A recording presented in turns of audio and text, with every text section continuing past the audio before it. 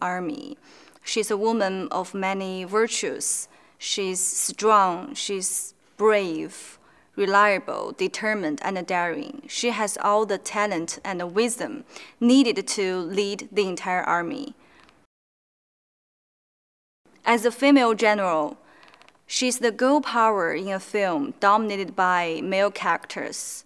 Uh, the character is the balance in this film.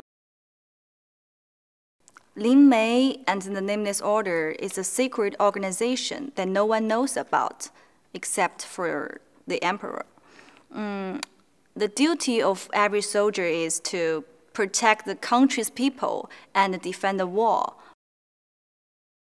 Luckily, when I got the call confirming this role, production sent me to LA for training. I spent half a year for training and studying, including dialogue classes, stunt training, horse riding, and, and physical training. Yeah, it was a tough but memorable experience preparing for this role. Every down set was like uh, taking acting classes, so I learned so much working with him. And he's the director I've wanted to work with for so long, uh, so it's like a dream come true.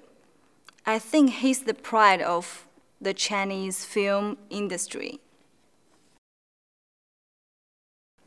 In this film, we really have a fantastic cast. It's been a pleasure to work with such great actors, Matt, Pedro, Willem, and everyone in this, in this film. Uh, especially Matt, because we have a lot of scenes opposite each other. For the past four months, I've learned so much working with him side by side. He's a true professional and um, dedicated actor. It is a story about the Chinese army that has the spirit of fighting till the end and never giving up. Mm, a tremendous collaboration between two countries with bilateral cultures definitely make this movie very unique.